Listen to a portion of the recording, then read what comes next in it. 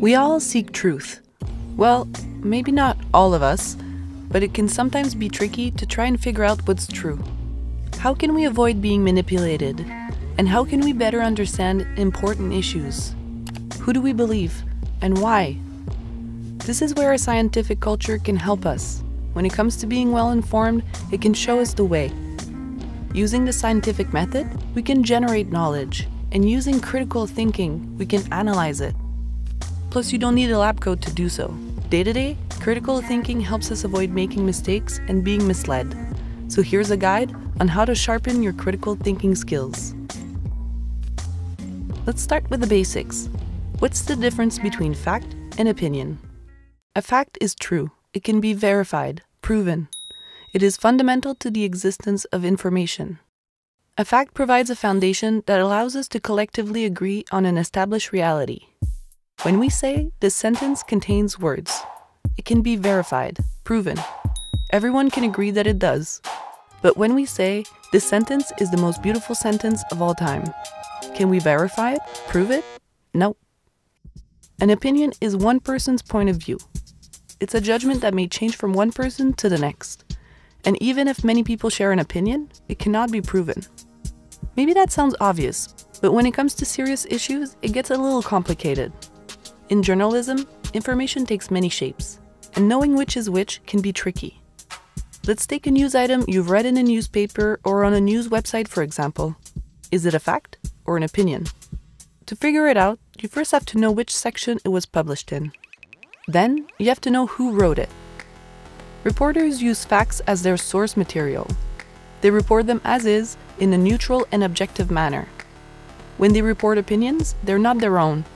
They're the opinions of the people they've interviewed. They then try to strike a balance between opposing perspectives. Columnists write from a subjective point of view. They write articles that express their personal opinion, often in the first person, I. Editorial writers also write from a subjective point of view. Their texts reflect the opinion of the people who own the publication. What about bloggers or social media commentators? You guessed it, they are sharing their opinion. On the internet, opinions are everywhere. So, to put information into perspective so that we can evaluate it, we have to take into consideration what kind of information it is. Now, let's talk about the obstacles that stand between us and our quest for truth, starting with our own brain. It's at the root of our first obstacle cognitive bias. A cognitive bias is a faulty thought process that distorts our judgment. And there are many kinds of bias. Look at these two lines. Which of the two is longer? If you think it's the one on the bottom, you're not alone, but you're wrong. It's an optical illusion. The two lines are the same length. Our senses can mislead us, and we shouldn't always trust them. Naive realism is the cognitive bias that explains this. It's our human tendency to believe that we see the world around us objectively. It's innate to our species, so we must try to account for it by admitting that our senses can be wrong. There's another bias that often has us fooled confirmation bias. Here's a common situation you and your friends are talking, you disagree on something, you think you're right, you do a quick Google search and find the proof that you needed. You feel satisfied. That feeling that's dopamine being released by your brain because it just processed information that confirms what it already believes. Let's say you believe in the Loch Ness Monster. You'll find sources that validate your belief, and you'll ignore the sources that deny Nessie's existence. Confirmation bias is the tendency to give more credence to information that confirms what we already think and less to the evidence that goes against our opinions and beliefs. It's not an optical illusion, it's an illusion of objectivity. To overcome our cognitive biases, we have to develop intellectual humility. We need to get used to changing our mind when we're presented with relevant new information. But that's easier said than done because algorithms are part of our day to day lives.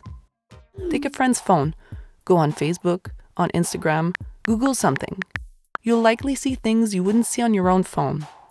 Now imagine what you'd see on the phone of your cousin, the anarchist, or your brother, the stock trader. It would be different. Because on the internet, reality is made to measure. The giant internet companies use algorithms to customize their platform to each individual user. These algorithms reinforce our confirmation bias by showing us content that matches our beliefs and by leading us to interact almost exclusively with people who think like us. This isolates us intellectually and culturally.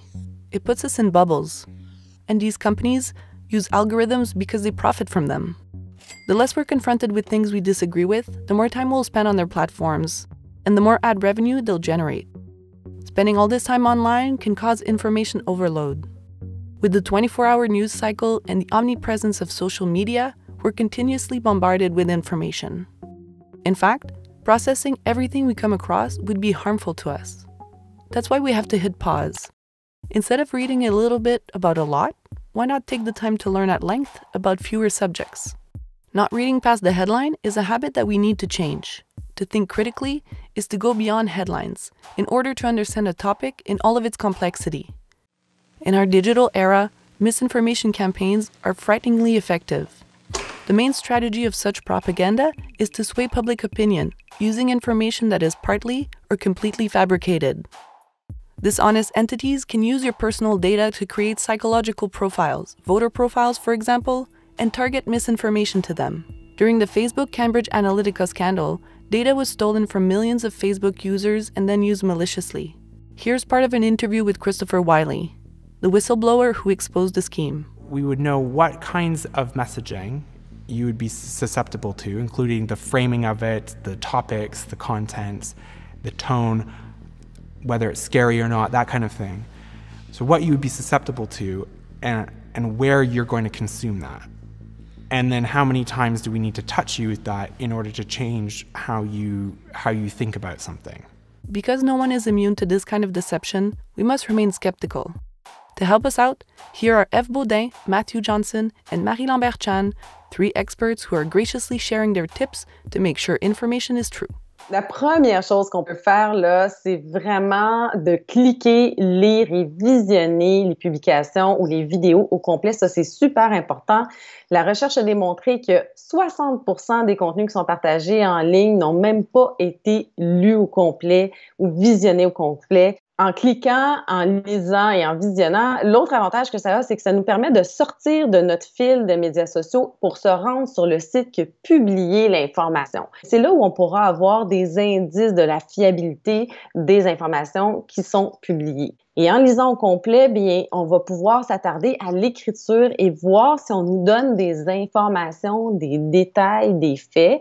Une des particularités des fausses nouvelles, c'est qu'elles sont souvent très floues. On ne sait pas qui a publié l'information, on ne sait pas qui a dit quoi, quelle université a publié quoi. Bref, quand il n'y a pas assez de détails, quand il n'y a pas assez d'informations, on devrait se méfier. Use fact-checking tools. Like Snopes or other resources that allow you to find out whether someone else, a professional, has already debunked something.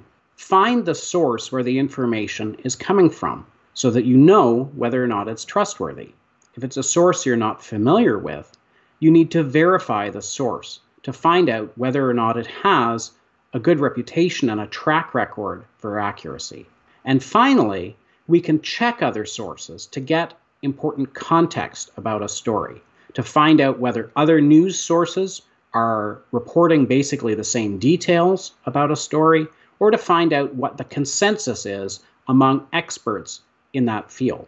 Est-ce qu'on vous rapporte une seule étude? Si c'est ça, ben rappelez-vous que ce n'est qu'une seule étude. Il en faut plusieurs pour vraiment tirer des constats euh, d'un phénomène en particulier. Si vous décidez euh, de consulter l'étude en elle-même, est-ce qu'on parle d'un seul auteur ou de plusieurs auteurs? Avec plusieurs auteurs, vous avez davantage de crédibilité. Est-ce que vous pouvez aller dans la section méthodologie et voir, surtout dans des études en sciences biomédicales, combien il y a de participants à l'étude? S'il y en a moins de 100, posez-vous des questions. Euh, vous pouvez également regarder la section déclaration d'intérêt. Les scientifiques doivent déclarer qui finance leur étude. Est-ce qu'il y a des intérêts privés? Ça ne veut pas dire que c'est forcément euh, mauvais, euh, mais ça peut vous donner des indications de ce qui a peut-être pu influencer le résultat. On est dans un monde d'instantanéité.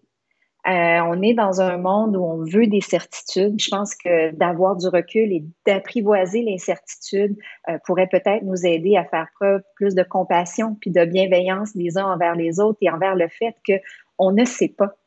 on ne sait pas tout le temps. Let's recap. Critical thinking is knowing how to distinguish fact from opinion, avoiding the obstacles that stand between us and our quest for truth, making sure that the information we come across is trustworthy. Critical thinking is an attitude, a delicate balance we have to strike between remaining skeptical and keeping an open mind.